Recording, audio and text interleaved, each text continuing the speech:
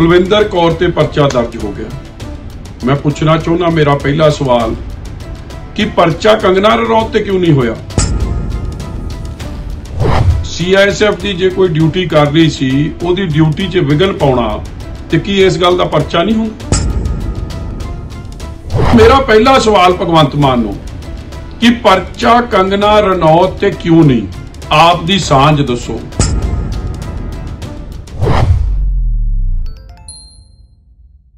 ਸਤਿ ਸ਼੍ਰੀ ਅਕਾਲ, ਤੁਸੀਂ ਦੇਖ ਰਹੇ ਹੋ ਡੀ5 ਚੈਨਲ ਪੰਜਾਬੀ ਤੇ ਮੈਂ ਬਲਵਿੰਦਰ ਸਿੰਘ ਸ਼੍ਰੋਮਣੀ ਅਕਾਲੀ ਦਲ ਦੇ ਸੀਨੀਅਰ ਲੀਡਰ ਨੇ ਵਿਕਰਮ ਸਿੰਘ ਮਜੀਠੀਆ ਵੱਲੋਂ ਕੁਲਵਿੰਦਰ ਕੌਰ ਦੇ ਹੱਕ ਦੇ ਵਿੱਚ ਇੱਕ ਵੱਡਾ ਬਿਆਨ ਸਾਹਮਣੇ ਆਇਆ। ਉਹਨਾਂ ਕਿਹਾ ਕਿ ਨਾ ਥੱਪੜ ਵੱਜਦਾ ਹੋਇਆ ਦਿਖਾਈ ਦਿੱਤਾ, ਉਹਦੇ ਮਨ ਦੇ ਵਿੱਚ ਗੁੱਸਾ ਸੀ, ਉਹ ਉਹਨੇ ਜ਼ਾਹਰ ਕੀਤਾ ਸੀਗਾ ਤੇ ਇਸ ਸਾਰੇ ਮਾਮਲੇ ਦੀ ਨਿਰਪੱਖ ਜਾਂਚ ਹੋਣੀ ਚਾਹੀਦੀ ਹੈ ਤੇ ਜਾਂਚ ਸਾਰੀ ਹਾਈ ਕੋਰਟ ਦੇ ਵਿੱਚ ਹੋਵੇ। ਦੋ ਦਿਨ ਪਹਿਲਾਂ, ਡੇਢ ਦਿਨ ਪਹਿਲਾਂ ਜਦੋਂ ਕੁਲਵਿੰਦਰ ਕੌਰ ਜਿਹੜੀ ਸੀਆਈਐਸਐਫ ਦੀ ਜਵਾਨ ਹੈ ਉਹਦੀ ਤੇ ਕੰਗਨਾ ਰੌ- ਰਣੌਤ ਦੇ ਬਾਰੇ ਜੋ 에ਅਰਪੋਰਟ 'ਚ ਵਾਕਿਆ ਹੋਇਆ, ਉਹਦੇ ਬਾਰੇ ਮੈਂ ਟਵੀਟ ਕਰਕੇ ਆਪ ਦੀ ਭਾਵਨਾ ਭਾਵੇਂ ਵਿਅਕਤ ਕੀਤੀ। ਉਹਦੇ 'ਚ ਮੈਂ ਬੜਾ ਸਪਸ਼ਟ ਕਿਹਾ ਸੀਗਾ ਕਿ ਸਰਕਾਰਾਂ ਨੂੰ ਔਰ ਜ਼ਿੰਮੇਵਾਰ ਸੱਜਣਾ ਨੂੰ, ਜ਼ਿੰਮੇਵਾਰ ਮੈਂ ਕਿਹਨੂੰ ਗਿਣਦਾ ਜਿਨ੍ਹਾਂ ਨੂੰ ਲੋਕਾਂ ਨੇ ਐਮਪੀ ਐਮਐਲਏ ਬਣਾਇਆ ਹੁੰਦਾ, ਵੈਸੇ ਸਾਰੇ ਜ਼ਿੰਮੇਵਾਰ ਨੇ, ਮਗਰ ਇਹ ਚੁਣੇ ਹੋਏ ਨੁਮਾਇੰਦੇ ਨੇ, ਇਹਨਾਂ ਦੀ ਜ਼ਿੰਮੇਵਾਰੀ ਮੈਂ ਸਮਝਦਾ ਬੜੀ ਵੱਧ ਜਾਂਦੀ ਹੈ ਔਰ ਆਪ ਦੀ ਗੱਲ ਕਰਨ ਤੋਂ ਪਹਿਲਾਂ ਇਹਨਾਂ ਨੂੰ ਗੱਲ ਸੋਚਣੀ ਜ਼ਰੂਰ ਚਾਹੀਦੀ। ਔਰ ਅੱਜ ਮੈਂ ਮਜਬੂਰ ਕਿਉਂ ਹੋਇਆ? ਅੱਜ ਤੁਹਾਡੇ ਨਾਲ ਰੂਬਰੂ ਹੋਣ ਲਈ ਕਿ ਵੇਖੋ ਕਿਸ ਕਿਸਮ ਦੀ ਧੱਕੇਸ਼ਾਹੀ, ਬੇਇਨਸਾਫੀ ਦੇਸ਼ ਦੀ ਤੇ ਭਗਵੰਤ ਮਾਨ ਦੀ ਸਰਕਾਰ ਪੰਜਾਬੀਆਂ ਨਾਲ ਕਰ ਰਹੀ ਹੈ। ਕੁਲਵਿੰਦਰ ਕੌਰ ਤੇ ਪਰਚਾ ਦਰਜ ਹੋ ਗਿਆ। ਮੈਂ ਪੁੱਛਣਾ ਚਾਹੁੰਦਾ, ਮੇਰਾ ਪਹਿਲਾ ਸਵਾਲ ਕਿ ਪਰਚਾ ਕੰਗਨਾ ਰਣੌਤ ਤੇ ਕਿਉਂ ਨਹੀਂ ਹੋਇਆ? ਕਿਉਂਕਿ ਕਿਸੇ ਅਫੀਸ਼ੀਅਲ ਨੂੰ ਸੀਆਈਐਸਐਫ ਦੀ ਜੇ ਕੋਈ ਡਿਊਟੀ ਕਰ ਰਹੀ ਸੀ, ਉਹਦੀ ਡਿਊਟੀ 'ਚ ਵਿਗਨ ਪਾਉਣਾ ਤੇ ਕੀ ਇਸ ਗੱਲ ਦਾ ਪਰਚਾ ਨਹੀਂ ਹੁੰਦਾ? ਔਰ ਏਡੀ ਸੈਂਸਿਟਿਵ ਥਾਂ ਤੇ 에ਅਰਪੋਰਟ ਸਿਕਿਉਰਿਟੀ ਤੇ ਉਹ ਲੱਗੀ ਆ, ਉਹਦੀ ਜ਼ਿੰਮੇਵਾਰੀ ਆ ਕਿ ਹਰੇਕ ਨੂੰ ਚਾਹੇ ਕੋਈ ਪ੍ਰਧਾਨ ਮੰਤਰੀ ਆਵੇ, ਕੋਈ ਵੱਡਾ ਲੀਡਰ ਆਵੇ, ਕੋਈ ਸਧਾਰਨ ਬੰਦਾ ਆਵੇ security check is for all ਔਰ ਇਹ ਖਬਰ ਵੀ ਆਈ ਹੈ ਕਿ ਕਿਵੇਂ ਇਹ ਫੋਨ ਤੇ ਲੱਗੀ ਸੀ ਔਰ ਕੰਗਨਾ ਦਾ ਹਾਈ ਹੈਡਡ ਐਟੀਟਿਊਡ ਕਿਉਂਕਿ ਉਹ ਭਾਜਪਾ ਦੀ ਸਰਕਾਰ ਦੇ ਨੇੜੇ ਹੈ, ਸਰਕਾਰਾਂ ਦੇ ਉਹਦੇ ਇਸ਼ਾਰੇ ਤੇ ਚੱਲਦੀਆਂ ਨੇ। ਉਹਦਾ ਐਟੀਟਿਊਡ ਬੜਾ ਇੱਕ ਵਾਰੀ ਨਹੀਂ, ਅਨੇਕਾਂ ਵਾਰੀ ਝਲਕਿਆ ਸੋ ਮੇਰਾ ਪਹਿਲਾ ਸਵਾਲ ਭਗਵੰਤ ਮਾਨ ਨੂੰ, ਕਿ ਪਰਚਾ ਕੰਗਨਾ ਰਣੌਤ ਤੇ ਕਿਉਂ ਨਹੀਂ? ਆਪ ਦੀ ਸਾਂਝ ਦੱਸੋ। ਦੂਜੀ ਗੱਲ, ਸਾਧ ਸੰਗਤ ਜੀ, ਮੈਂ ਇਹ ਵੀ ਬੇਨਤੀ ਕਰਨਾ ਚਾਹੁੰਦਾ ਦਿੱਲੀ ਦੀ ਸਰਕਾਰ ਨੂੰ, ਇਹਨਾਂ ਨੂੰ ਰੋਕੋ, ਹਟਾਓ। ਉਹ ਭੈਣ ਵੀ ਕੁਲਵਿੰਦਰ ਕੌਰ ਇਸ ਹਾਲਾਤ ਲਈ ਮਜਬੂਰ ਕਿਉਂ ਹੋਏ? ਕੁਲਵਿੰਦਰ ਕੌਰ ਦਾ ਸਾਰਾ ਪਰਿਵਾਰ ਫੌਜੀ ਪਰਿਵਾਰ ਹੈ। ਉਹਦਾ ਆਪ ਦਾ ਘਰ ਵਾਲਾ ਸੀਐਸਐਫ 'ਚ ਨੌਕਰੀ ਕਰ ਰਿਹਾ, ਉਹ ਆਪ ਸੀਐਸਐਫ 'ਚ ਹੈ। ਸੋ ਉਹਨਾਂ ਨੂੰ ਜ਼ਿੰਮੇਵਾਰੀ, ਡਿਊਟੀ ਟੁਵਰਡਸ ਦ ਨੇਸ਼ਨ ਉਹਨਾਂ ਨੂੰ ਬਖੂਬੀ ਪਤਾ ਹੈ, ਫੌਜੀਆਂ ਦਾ ਪਰਿਵਾਰ ਹੈ। ਇਸ ਦੇਸ਼ ਵਾਸਤੇ, ਭਾਜਪਾ ਦੇ ਲੀਡਰੋਂ, ਇਸ ਦੇਸ਼ ਵਾਸਤੇ ਉਹਦੇ ਪਰਿਵਾਰਾਂ ਨੇ ਕੁਰਬਾਨੀਆਂ ਕੀਤੀਆਂ ਨੇ। ਔਰ ਇਹ ਪੰਜਾਬੀ ਮਿੱਟੀ, ਪੰਜਾਬੀ ਕੌਮ ਦੇਸ਼ ਦੇ ਵਾਸਤੇ ਕੱਲਾ ਕੁਰਬਾਨ ਨਹੀਂ ਹੁੰਦਾ, ਦੇਸ਼ ਨੂੰ ਨੈਸ਼ਨਲ ਸਿਕਿਉਰਿਟੀ ਨਹੀਂ ਦਿੰਦਾ, ਦੇਸ਼ ਨੂੰ ਫੂਡ ਸਿਕਿਉਰਿਟੀ ਵੀ ਦਿੰਦਾ, ਦੇਸ਼ ਨੂੰ ਅੰਨ ਦਿੰਦਾ ਇਸੇ ਕਾਰਨ ਜੈ ਜਵਾਨ, ਜੈ ਕਿਸਾਨ ਦਾ ਨਾਰਾ ਬੁਲੰਦ ਹੁੰਦਾ। ਮਗਰ ਤੁਸੀਂ ਕਿਸੇ ਨੂੰ ਇੰਨਾ ਮਜਬੂਰ ਕਰਦੇ ਹੋ, ਹਰੇਕ ਨੂੰ ਆਪਦੇ ਮਾਪੇ ਪਿਆਰੇ ਨੇ। ਤੁਹਾਡੀ ਲੀਡਰ ਅੱਜ ਜਿਹਨੂੰ ਤੁਸੀਂ ਐਮਪੀ ਬਣਾਇਆ ਐਮਪੀ ਸੀਟ ਦੇਣ ਦੇ ਯੋਗ ਸਮਝਿਆ, ਕਿ ਇਸ ਲਈ ਸਮਝਿਆ ਭਾਜਪਾ ਨੇ? ਕਿ ਜਦੋਂ ਕਿਸਾਨੀ ਅੰਦੋਲਨ ਚੱਲਦਾ ਸੀ, ਇਹ ਹਰੇਕ ਦੀ ਮਾਵਾਂ ਨੂੰ ਜਲੀਲ ਕਰੇ। ਇਹ ਕਵੇ ਕਿ ਇਹ ਦਿਹਾੜੀ ਤੇ ਆਏ ਆ 100-100 ਰੁਪਏ ਤੇ।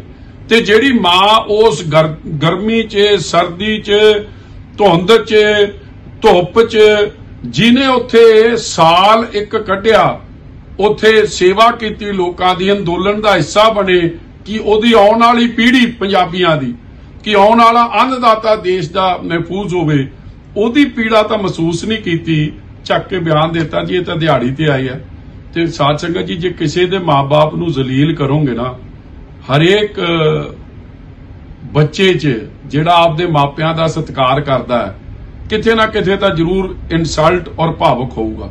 ਔਰ ਮੈਂ ਸਮਝਦਾ ਹਾਂ ਕਿ ਉਹਨੇ ਕੋਈ ਇਹੋ ਜਿਹਾ ਕਾਨੂੰਨ ਨਹੀਂ ਤੋੜਿਆ। ਉਹਨੇ ਸਿਰਫ ਆਪ ਦਾ ਇੱਕ ਪ੍ਰੋਟੈਸਟ ਜ਼ਾਹਿਰ ਕੀਤਾ ਔਰ ਉਹ ਕੀਤਾ ਕਿ ਨਹੀਂ ਕੀਤਾ this is a matter of investigation ਕਿ ਕੰਗਨਾ ਨੇ ਫਿਰ ਮਿਸਬਿਹੇਵ ਕੀਤਾ। ਔਰ ਮੈਂ ਅੱਜ ਫੇਰ ਅਪੀਲ ਕਰਦਾ that we demand an independent high court monitored probe ਕਿਉਂਕਿ ਨਾ ਤਾਂ ਭਗਵੰਤ ਮਾਨ ਟਾਊਟ ਤੇ ਵਿਸ਼ਵਾਸ ਹੈ ਤੇ ਨਾ ਕੇਂਦਰ ਦੀ ਸਰਕਾਰ ਤੇ ਵਿਸ਼ਵਾਸ ਹੈ। ਔਰ ਮੈਂ ਭਾਜਪਾ ਦੇ ਲੀਡਰਾਂ ਨੂੰ ਜਾਖੜ ਸਾਹਿਬ ਨੂੰ ਕਹਿਣਾ ਚਾਹੁੰਦਾ ਇਹ ਤਾਂ ਕਹਿਤਾ ਕਿ ਸੀਐਸਐਫ ਦੀ ਬੀਬੀ ਨੇ ਆਪ ਦੀ ਜ਼ਿੰਮੇਵਾਰੀ ਗਲਤ ਕਰਤੀ ਉਸ ਭੈਣ ਬਾਰੇ ਤਾਂ ਟਿੱਪਣੀ ਕਰਤੀ ਤੇ ਇਹ ਟਿੱਪਣੀ ਨਾ ਕਰਨੀ ਠੀਕ ਸਮਝੀ। ਜਿਹੜੀ ਕੰਗਨਾ ਰੋਜ਼ ਕਹਿ ਦਿੰਦੀ ਹੈ ਜਲੂਲ ਰੋਜ਼ ਜਲੀਲ ਕਰਦੀ ਹੈ ਪੰਜਾਬ ਦੀਆਂ ਮਾਂ ਬੇਟੀਆਂ ਨੂੰ। ਤੇ ਜਿਹੜੀ ਕੰਗਨਾ ਕਹਿੰਦੀ ਹੈ ਕਿ ਜੀ ਇਹ ਪੰਜਾਬੀ ਤਾਂ ਅਹ, ਦੇਸ਼ਦਰੋਹੀ ਨੇ ਜੀ ਇਹ ਤਾਂ ਟੈਰਰਿਸਟ ਨੇ ਉਗਰਵਾਦੀ ਨੇ। ਕਿ ਤੁਸੀਂ ਸਮਝਦੇ ਹੋ ਜਾਖੜ ਸਾਹਿਬ ਇਹ ਉਗਰਵਾਦੀ ਨੇ?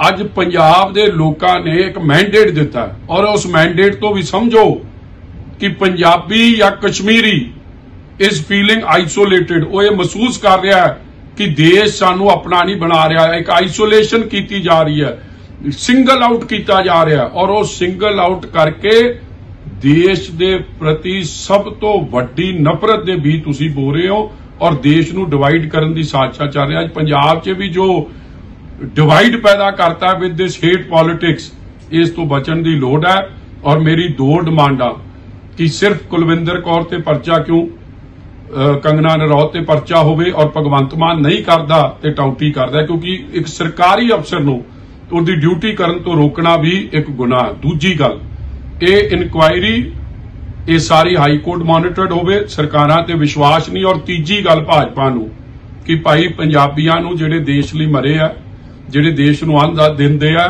ਤੁਸੀਂ ਉਹਨਾਂ ਦੀ ਮਾਂ ਬੇਟੀਆਂ ਨੂੰ, ਬਾਪ ਨੂੰ, ਭਰਾਵਾਂ ਨੂੰ ਜਲੀਲ ਕਰਨਾ ਬੰਦ ਕਰੋ ਔਰ ਯਾਦ ਕਰੋ ਜਦੋਂ ਗਲਵਾਨ ਦੇ ਕਲੈਸ਼ੇ 'ਚ ਸਭ ਤੋਂ ਵੱਡੀ ਸ਼ਹਾਦਤ ਕਿਹਨੇ ਦਿੱਤੀ ਸੀ?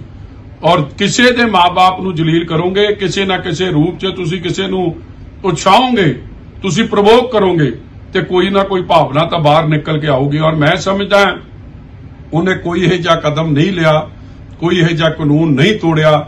ਮਗਰ ਪੰਜਾਬੀਆਂ ਨੂੰ ਉਤਸ਼ਾਹਣਾ ਪ੍ਰਵੋਕ ਕਰਨਾ ਔਰ ਪੰਜਾਬੀਆਂ ਨੂੰ ਦੇਸ਼ ਦਰੋਹੀ ਦੱਸਣਾ, ਪੰਜਾਬ ਨੂੰ ਐਂਟੀ ਨੈਸ਼ਨਲ ਦੱਸਣਾ, ਇਹ ਕੰਮ ਬੰਦ ਹੋਣਾ ਚਾਹੀਦਾ ਕਿਉਂਕਿ ਜਿੰਨੇ ਪੰਜਾਬੀ ਨੈਸ਼ਨਲਿਸਟ ਤੇ ਪੈਟਰੀਓਟਿਕ ਇਹ ਦੇਸ਼ ਲਈ ਵਫਾਦਾਰ ਨੇ, ਉਹਨਾਂ ਹੋਰ ਕੋਈ ਕੌਮ ਨਹੀਂ। ਮੈਂ ਆਸ ਕਰੂੰਗਾ, ਉਮੀਦ ਕਰੂੰਗਾ ਕਿ ਇਹਨਾਂ ਚੀਜ਼ਾਂ ਤੇ ਗੌਰ ਕਰਦਿਆਂ ਹੋਇਆਂ ਇੱਕ ਕਮੇਟੀ ਬੈਠੂਗੀ, ਹਾਈ ਕੋਰਟ ਮੋਨੀਟਰਡ ਇਨਕੁਆਇਰੀ ਹੋਊਗੀ, ਨਹੀਂ ਤਾਂ ਸੱਚ ਕਦੇ ਸਾਹਮਣੇ ਨਹੀਂ ਆਉਣਾ।